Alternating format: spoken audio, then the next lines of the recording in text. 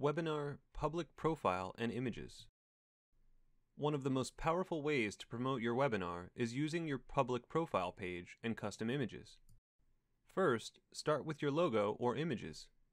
Under Account, click on Manage Photos.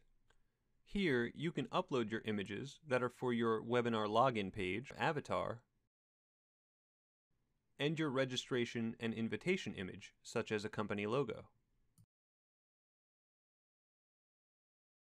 To set up your public profile page, navigate to this page under Account and fill in your areas you want your audience to see. For example, the area called Add some information about yourself is the personal welcome message you might display on your public profile page. Make sure you set your profile to public.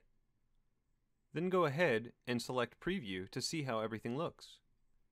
Your public profile page is a great place to send people to register for your upcoming webinars or to see your past webinar recordings if you want to share those.